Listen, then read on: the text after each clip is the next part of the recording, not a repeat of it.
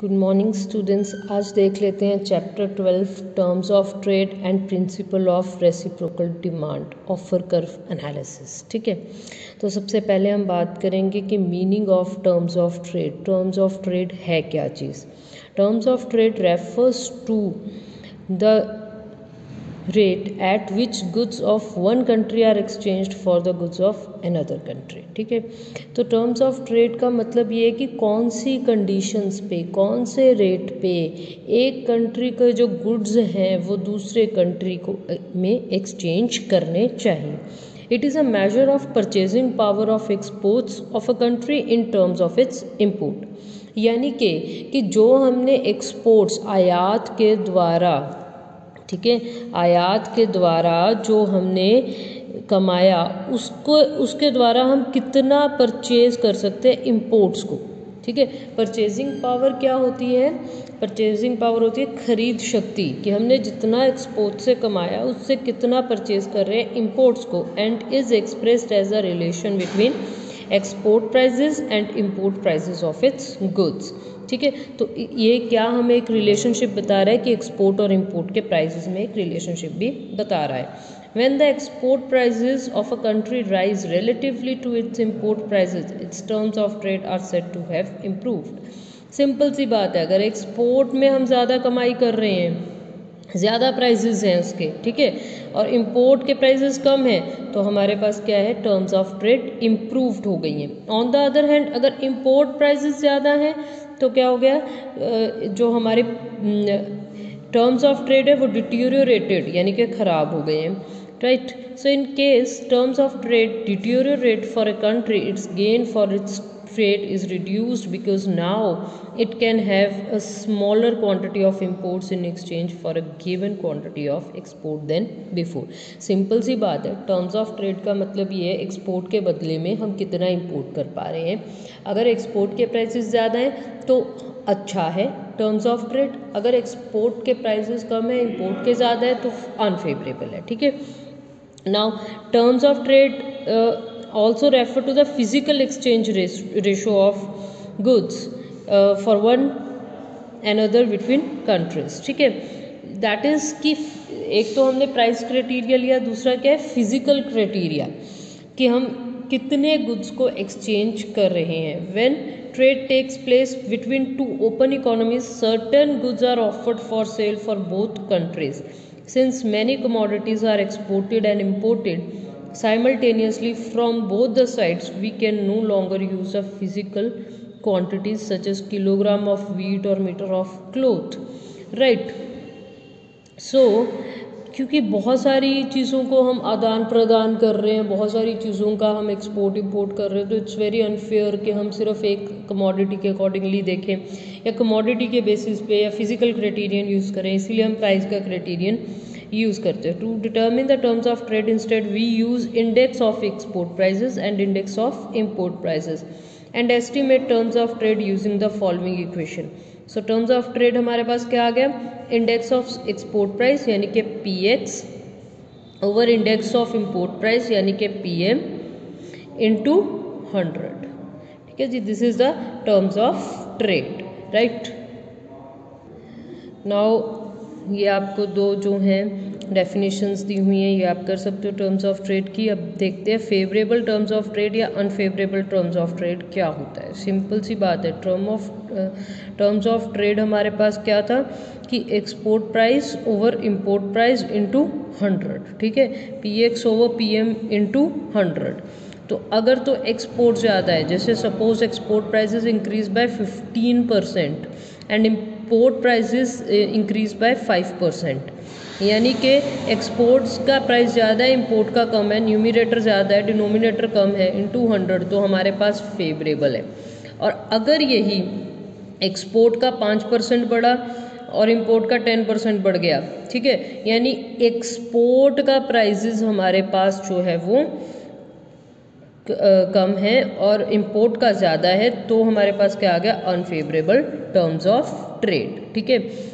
However in this context we must explore the cost behind increase in export prices if it happens due to inefficient domestic production increase in export price index will adversely impact our competitiveness in the international market.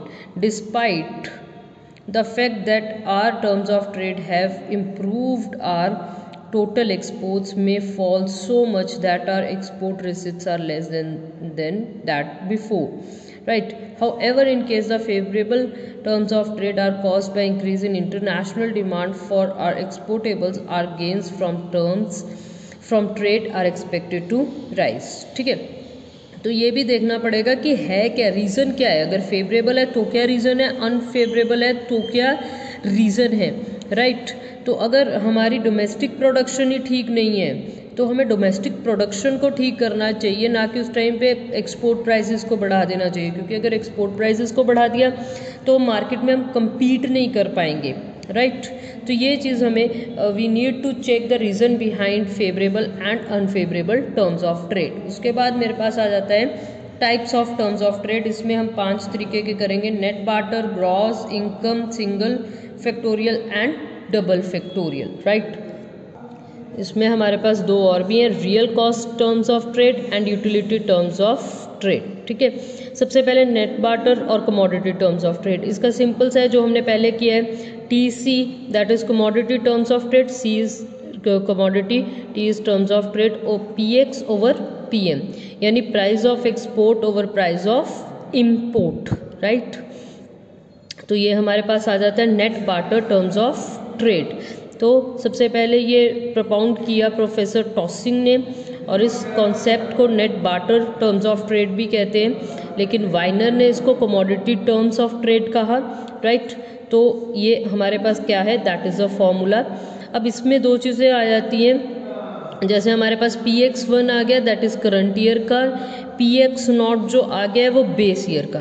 तो इसको इस तरीके से भी ले सकते हैं, एक रेशो के तरीके से P X one over P M one यानी price of exports of current year over price of imports of current year ratio price of export of base year price of import of base year right ठीक है?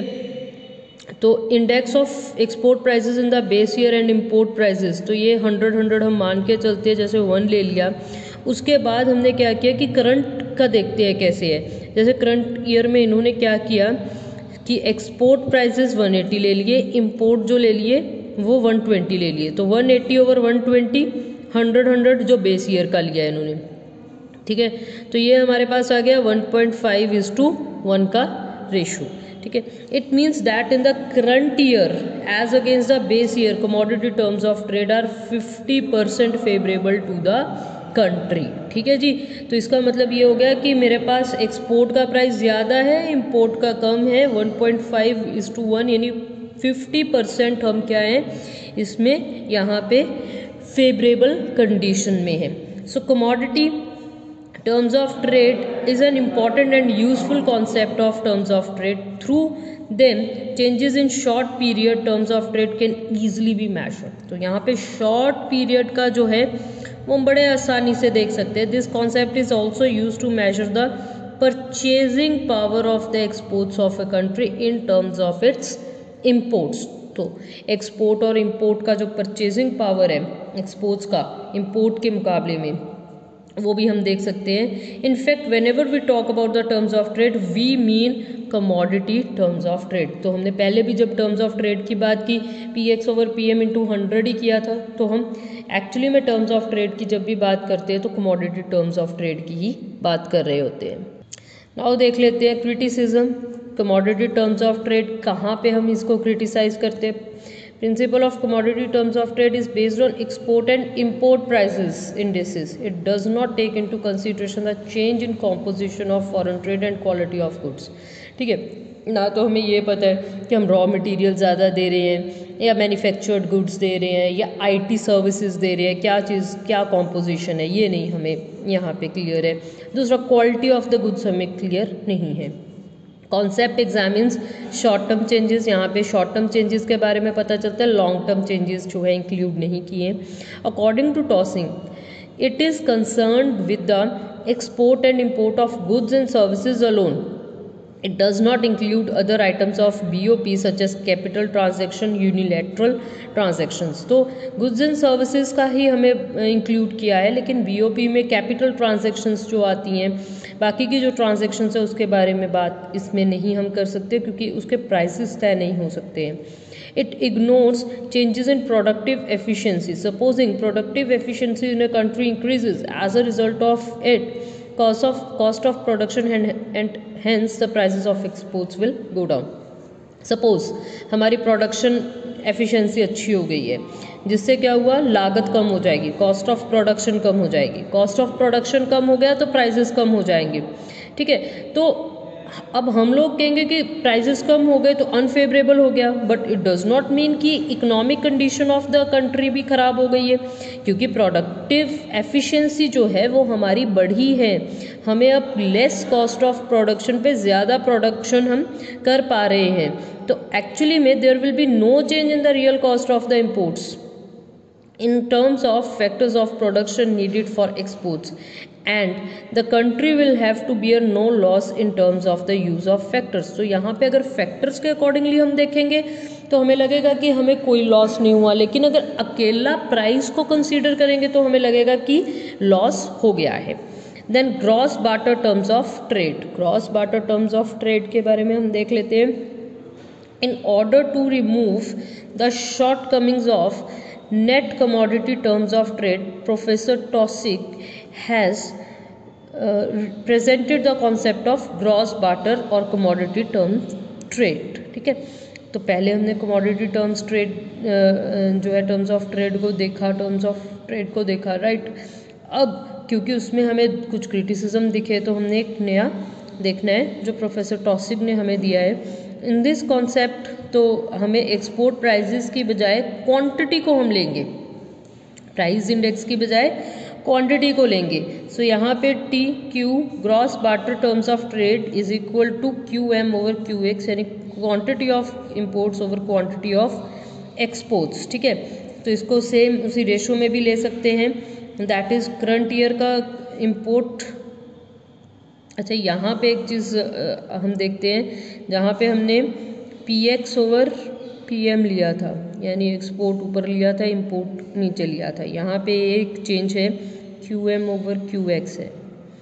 M is for imports X is for exports ठीक है जी? तो यहाँ पे हमने quantity of import ऊपर लिया है। क्वांटिटी ऑफ़ एक्सपोर्ट नीचे लिया। इसका मतलब ये है कि हम कितना इंपोर्ट कर पा रहे हैं इन टर्म्स ऑफ़ एक्सपोर्ट्स ठीक है जी?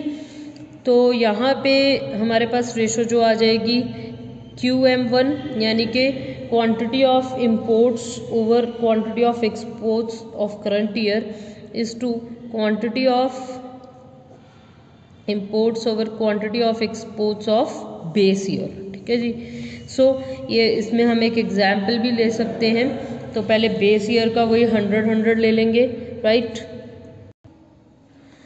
उसके बाद हम जो है करंट ईयर का ले लेंगे। जैसे क्वांटिटी ऑफ़ एम वन ले लिया 166 और उसके बाद एक्स वन का ले लिया 122 ठीक है?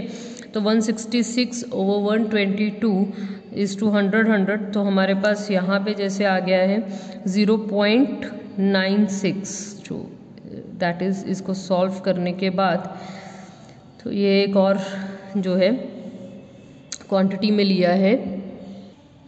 तो एक हमारे पास आ गया 2014 का। 2014 का इन्होंने कहा कि 36 परसेंट से इम्प्रूव हो गया है, क्योंकि हम इंपोर्ट ज़्यादा कर पा रहे हैं इन टर्म्स ऑफ़ एक्सपोर्ट्स जो हमने दिया है, उससे ज़्यादा हमें मिल रहा है। तो 36 परसेंट का हमें टर्म्स ऑफ़ ट्रेड में इम्प्रूवमेंट हुई है। एक दूसरा ले लिया 131 ओवर 136 यहाँ पे 0.96 हमारे पास आया है।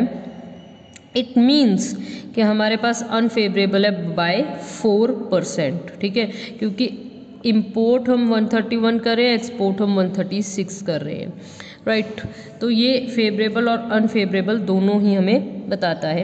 It may be noted that when balance of trade is balanced then net and gross commodity terms of trade are the same but if terms of trade is in disequilibrium or balance of payment included unilateral payments then gross commodity terms of trade and net commodity terms of trade will be different ठीक है तो अगर तो balanced है balance of trade ठीक है तो net और ग्रॉस दोनों एक जैसे ही होंगे लेकिन अगर बैलेंस नहीं है या फिर बैलेंस ऑफ़ पेमेंट में यूनिलैटरल पेमेंट्स भी हैं तो ग्रॉस और नेट में दोनों में फ़र्क रहेगा राइट अब क्रिटिसिज्म देख लेते हैं According to Professor Taussig, gross commodity terms of trade include unilateral transactions like donations, gifts in balance of payment. But it is not proper because it does not represent the natural flow of trade. Unilateral tra transactions treat different items such as donation, war reparations, etc. alike, but in reality their effect is different, hence it is not correct to treat them alike. Okay? तो इनको एक जैसा नहीं हम treat कर सकते। इनका एक इम्पैक्ट अलग होता है इकोनॉमी पे। Gross commodity terms of trade do not provide any clue of payment of capital and its effect ठीक है? यहाँ पे जब हम टर्म्स ऑफ़ ट्रेड की बात करते हैं ग्रॉस की करें या नेट की करें तो कैपिटल फ्लो के बारे में हमें इसमें नहीं पता चलता है। Then like net commodity terms of trade, gross commodity terms of trade also do not attach any importance to changes in the quality of goods. तो quality of goods के बारे में भी हमें ये नहीं बताता है, ठीक है? तो हम देखें तो चाहे नेट ले, चाहे ग्रॉस ले, दोनों में ही एक जैसी सी हमें क्रिटिसिज्म मिलेगी, एक जैसे से फ्लॉज मिलेंगे राइट अब देख लेते हैं इनकम टर्म्स ऑफ़ ट्रेड ठीक है?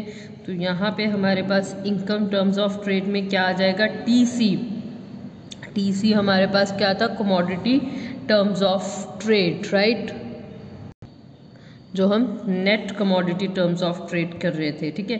तो उसके साथ क्यू एक्स मल्टीप्लाई में आ जाएगा, ठीक है? तो concept of income terms of trade was propounded by G S Dorrance this concept is indeed an improved version of net commodity terms of trade according to this concept income terms of trade can be calculated by multiplying net barter terms of trade by index of quantity exported right so in the words of Dorrance the income terms of trade is a ratio of index of the price of exports and index of price of imports तो कैसे calculate करना है तो TC हमारे पास already होता है barter terms of trade जिसको हम कहते हैं या net commodity terms of trade P X over P M ठीक है जी? और टी वाई मेरे पास क्या आ गया? यानी income terms of trade T C into Q X Q X is quantity जितनी हमने एक्सपोर्ट की है. इंडेक्स ऑफ़ क्वांटिटी एक्सपोर्टेड उसके बाद हम देख लेते हैं। तो income terms of trade are also called capacity to import इसको हम ये भी कहते हैं कि कितना कैपेसिटी हमारा इम्पोर्ट करने का है। It is so because in the long run the value of total exports of a country is equal to the value of its import that is px over qx is equal to pm over uh, pm into qm ठीक है तो px जो है हमारे पास price index of exports q हमारे पास quantity of exports pm price of imports qm हमारे पास होता है that is quantity of imports तो हमारे पास क्वांटिटी ऑफ़ इंपोर्ट्स का क्या आ जाता है? देखो, यहाँ पे क्वांटिटी ऑफ़ इंपोर्ट्स को हमने क्या पहले लिखा था? That is T Y T Y का क्या फॉर्मूला था हमारे पास? T C into Q X ठीक है? टी सी को हमने क्या लिखा? P X over P M into Q X तो हम क्या चाहते हैं यही चाहते हैं ना कि एंड ऑफ़ द डे ये दोनों इक्विलिब्रियम में आए। तो अगर यहाँ पे हम देखें तो क्यू एम क्या बन गया हमारे पास? P X over Q X over P M यही बन गया टी वाई राइट कि हम कितना क्वांटिटी इंपोर्ट कर रहे हैं। इन टर्म्स ऑफ़ दिस ठीक है? तो ये हमारे पास एक इक्वेशन आ गई इनकम टर्म्स ऑफ़ ट्रेड की इक्वेशंस राइट तो अब other things remaining constant a country capacity to import increases when price of export increases price of import decreases quantity of exports increases this concept is of great importance to underdeveloped countries ठीक है?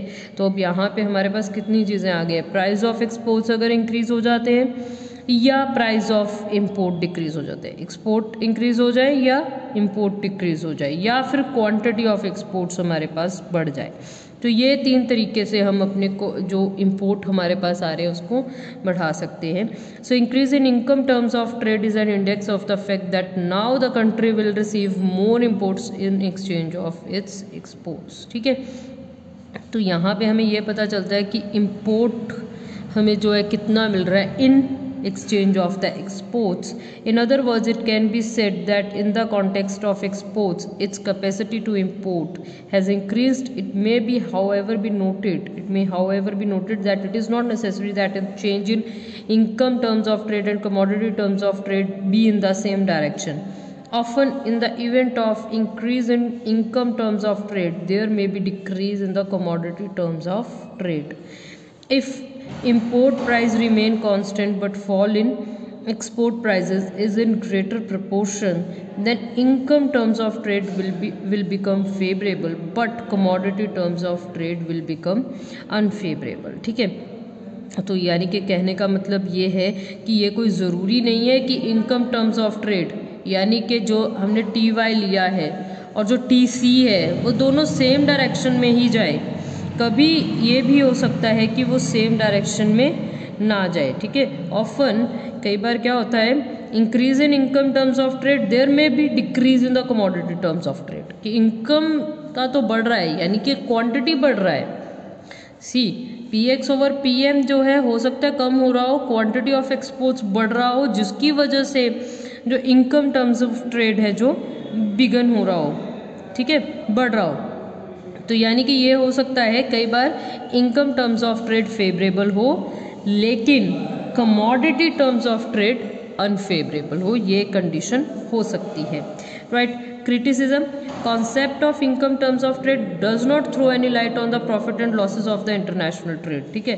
तो हमें नहीं पता कि कोई country gain कर रही है या नहीं कर रही है, या इंपोर्ट कैपेसिटी जो है इंक्रीज होने से एक्सपोर्ट ज़्यादा हो रहा है ठीक है? Because of more export real resources of the country go to the foreign countries in large quantity consequently, their availability within country falls and thus people of the country have got to make a sacrifice, ठीक है? हम export ज़्यादा कर रहे हैं, लेकिन export ज़्यादा करने का मतलब एक ये भी है कि हमारे रिसोर्सेज दूसरे कंट्रीज़ में जा रहे हैं। तो हमें नहीं पता, उससे हमें एक्चुअली में गेन हो रहा है या लॉस हो रहा है इस पर्टिकुलर फॉर्मूला के थ्रू ठीक है concept of income terms of trade is a narrow concept index of income terms of trade relates to the capacity of imports as being dependent on only on exports ठीक है, यहाँ पे हमने सिर्फ़ income का जो रिलेट कर रहे हैं इम्पोर्ट्स का जो रिलेट कर रहे हैं, ठीक है, वो एक्सपोर्ट से it is not related to the total income capacity of the country total income capacity includes besides exports receipts from capital and services मतलब सिर्फ़ हम एक्सपोर्ट्स का ही बात कर रहे हैं, ठीक है? लेकिन बाकी चीज़ों के लिए, बाकी इनकम कैपेसिटी के बारे में हम बात नहीं कर रहे हैं, ठीक है जी? अब नेक्स्ट हमारे पास आ जाता है single factorial terms of trade तो सिंगल फैक्टोरियल में हम देख लेते हैं, ठीक है? Jacob Viner professor Jacob Viner ने ये कॉन्सेप्ट हमें दिया था। तो productive efficiency of the factor of production should not be ignored ठीक है? तो ये, उन्होंने कहा कि इग्नोर नहीं होनी चाहिए। सिर्फ़ हम कमोडिटी टर्म्स ऑफ़ ट्रेड में बात नहीं कर सकते, हमें फैक्टोरियल टर्म्स ऑफ़ ट्रेड में भी बात करनी पड़ेगी, क्योंकि इससे हमें ये पता चलेगा कि हमारे अपने कंट्री का, उत्पादन का एफिशिएंसी या प्रोडक्टिव एफिशिएंसी क्या है। According to singular factorial terms of trade the ratio of the export price index to the import price index should be adjusted for changes in the productivity of a country to factors used in the production of exports ठीक है तो यहाँ पे हम ये देखेंगे कि import price index में एडजस्ट करेंगे productivity of the country to the factors use in the production of exports जो भी हमारे प्रोडक्शन हो रही है एक्सपोर्ट्स में तो इसका फॉर्मूला देखते हैं। सिंपल है T S single factorial terms of trade is equal to T C into F X T C हमारे पास क्या है? P X over P M T C is nothing but commodity net commodity terms of trade ठीक है P X over P M into F X F X single factor है एक, ठीक है? Index of productivity of export goods industry X जहाँ पे आ गया, हम एक्सपोर्ट कंट्री की बात करें कि फैक्टर ऑफ़ प्रोडक्शन का क्या? प्रोडक्टिविटी है। ठीक है? तो if commodity terms of trade of a country have become unfavourable at a given time it does not necessarily mean that the economic condition of the country has become worse simple सी बात है। अगर हम सिर्फ़ TC लेके चलते हैं तो टीसी से हम सारी चीज़ों को नहीं देख सकते हैं। रीज़न बिहाइंड ये है कि अगर ये अनफेवरेबल भी है तो इसका मतलब ये नहीं है कि हमारी इकोनॉमिक कंडीशन ख़राब है। इसका मतलब तो ये है कि एक्सपोर्ट का प्राइस जो है ने भी कम हो गया। लेकिन हो सकता है वो कम इस वजह से हुआ हो क्योंकि हमारा प्रोडक्शन कैपेसिटी बढ़ गया प्रोडक्शन एफिशिएंसी बढ़ गया।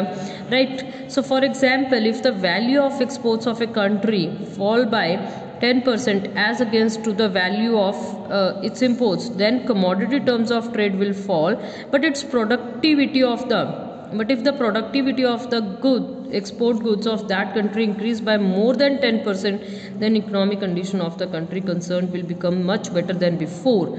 That is single factorial terms of trade will improve. It is so because fall in value of exports will be compensated by less cost of production of these export goods. Hence despite fall in commodity terms of trade the economic condition of the country will not deteriorate right because of the increase in the productivity of the factors that is why compared to commodity terms of trade the concept of single factorial terms of trade is considered more appropriate because it gives us the knowledge of the effect of change in of productivity along with the change in value देखो TC हमें simple ये बात बताता है P X over P M कि prizes अगर export के ज़्यादा है तो ठीक है, अगर कम है इम्पोर्ट के मुकाबले में तो ख़राब है। लेकिन हम बाकी चीज़ों को नहीं देख रहे हैं यहाँ पे इकोनॉमिक कंडीशंस बाकी तरीक़ों से नहीं देख रहे। जैसे हमने जो इनकम टर्म्स ऑफ़ ट्रेड है, उसमें हमने क्या किया? क्यू एक्स को लिया कि कहीं ऐसा तो नहीं है क्वान्टिटी बढ़ रही है प्राइसेस कम हो रहा है। वो किस वजह से हो सकता है? हो सकता है फैक्टर्स का प्रोडक्टिविटी बढ़ गया। दैट इज़ वाई हमने अब यहाँ पे सिंगल फैक्टोरियल जो है टर्म्स ऑफ़ ट्रेड लिया है single factoral terms of trade ठीक है? So this is factoral factor of production criticism according to critics the greatest shortcoming of single factoral terms of trade is that it does not take into consideration potential domestic cost of production of inputs industry of importing country ठीक है? लेकिन यहाँ पे ये जो cost of production है of input industry का importing countries उनका नहीं ले रहे हैं। हम सिर्फ़ एक्सपोर्ट वाले की बात कर रहे हैं। Its other defect is that it is very difficult to obtain necessary statistic to calculate productivity index तो ये बड़ा एक दिक्कत वाला काम है। इकोनॉमिक्स में हम बहुत सारी थ्योरीज दे तो देते हैं, लेकिन जब हम प्रैक्टिकली बात करते हैं तो हमें सबसे बड़ा प्रॉब्लम ये देखने को मिलता है कि उसका स्टैटिस्टिक हमें उसका डेटा हमारे पास नहीं अवेलेबल होता राइट नेक्स्ट हम देख लेते हैं two factorial terms of trade तो एक के मुकाबले में दो दे दिया, ठीक है? इसमें कुछ नहीं, जो हमने पहले यहाँ पे क्रिटिसिज्म किया कि इम्पोर्टिंग कंट्री का हमारे पास नहीं है तो डबल फैक्टोरियल में हमें इम्पोर्टिंग कंट्री का भी साथ दे दिया F X over F M ठीक है तो double factorial terms of trade takes into account the productivity of factor of production in the countries export as well as the productivity of the foreign factors of production use in country import जो हम सिर्फ़ export कर रहे हैं, उसी के बारे में बात नहीं कर रहे हैं इम्पोर्ट के बारे में भी बात कर रहे हैं। ठीक है? तो यहाँ पे two factoral terms of trade इसीलिए बात की गई है तो जो single factoral terms of trade में हमारे पास शॉर्टकमिंग रह गई थी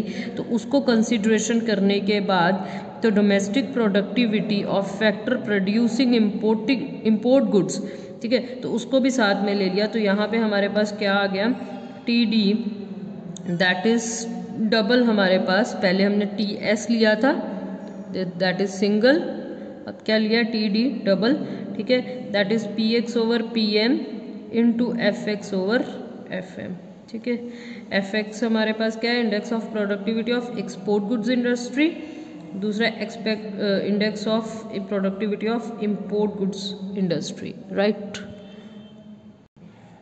तो improvement in double factoral terms of trade of a country means that productivity of exports का भी हम देख सकते हैं और इम्पोर्ट्स का भी देख सकते हैं so factor producing export goods has increased more than the productivity of factor producing import goods the concept of double factorial terms of trade is more useful than the concept of single factorial terms of trade because it takes into consideration the productivity in both the countries जो change हो रहा है productivity में, वो दोनों countries के import and export so however Kindleberger holds the concept of single factorial terms of trade to be more appropriate than the double factorial terms of trade, क्योंकि इसके पीछे का रीज़न क्या है? That is how much we get in terms of goods from other countries and not with how much amount of services of the factors of other countries we get in return for services of our own factors, right? क्योंकि हम यहाँ पे ज़्यादा concern है कि हम goods के मामले में टर्म्स ऑफ़ गुड्स के मामले में कितने गुड्स ले रहे हैं, ना कि हम सर्विसेज़ के मामले में ज़्यादा कंसर्न है यहाँ पे राइट तो दूसरा हमारे पास क्रिटिसिज्म आ जाता है। It is very difficult to estimate definitely practically हमें नहीं पता है कि इम्पोर्ट का फैक्टोरल जो प्रोडक्टिविटी कितना है it's very difficult practically possible ही नहीं है. It is not possible to measure gains of terms of trade by this concept because no importance is given to the utility of goods exported and imported देखिए, जो criticism करते रहेंगे, उससे आगे हम आगे बढ़ते रहेंगे. तो आगे हम यूटिलिटी की भी एक बार में बात करेंगे. नेक्स्ट जो आएगा सेवन्थ ठीक है तो अगला सिक्स जो है real cost terms of trade तो concept of real cost terms of trade was presented by Jacob Viner in order to calculate the real gain of international trade. Under this concept, import and export goods are compared according to their utility. Right?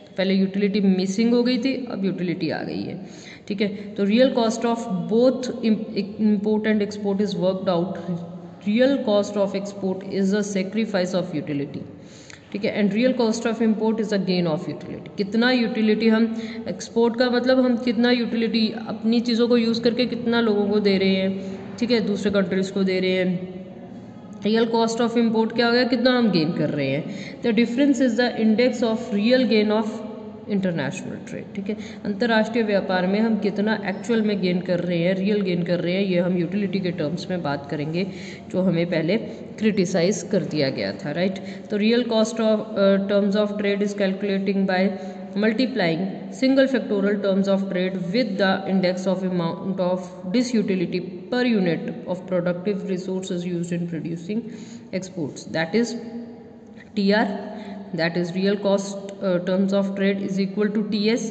single factorial terms of trade into rx ठीक है are x हमारे पास नई चीज़ है T S हमारे पास क्या है P X over P M into F X into R X R X sacrifice of utility in inherent in the exports ठीक है according to this concept real cost terms of trade are favorable when the quality quantity of imported goods is more than the real cost of production of the exported goods जो हम import कर रहे हैं ठीक है? Quantity उसकी ज़्यादा है जो हम एक्सपोर्ट कर रहे हैं रियल कॉस्ट ऑफ़ प्रोडक्शन के uh, के टर्म्स में ठीक है? Now criticism main defect of real cost terms of trade is that it is concern only with the quantity of foreign goods obtain with the real cost inherent in exports it completely ignores import side export को कर लिया बात import की बात। नहीं की है. That is a real flaw ठीक है?